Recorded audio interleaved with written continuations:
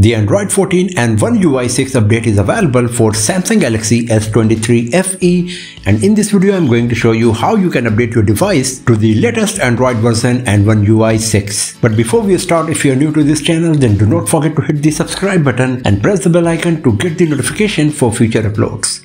So first of all, make sure that your device is connected to the Wi-Fi or you got unlimited mobile data plan on your device because these software updates can be huge in size. So the very first thing you have to do is go to the settings. After that, scroll down, go to the bottom.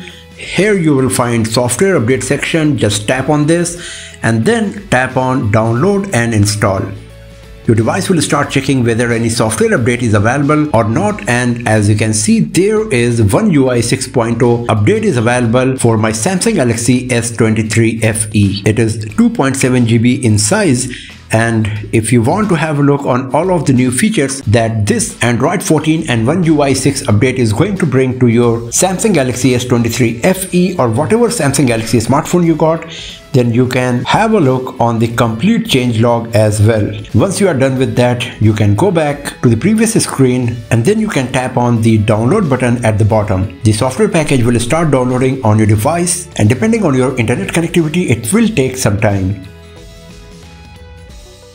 Now the downloading of the software package is completed and all you have to do is tap on install now button and then your device will reboot and once the rebooting process is completed you will have the Android 14 and One UI 6 installed on your Samsung Galaxy S23 FE or whatever Samsung Galaxy smartphone you got.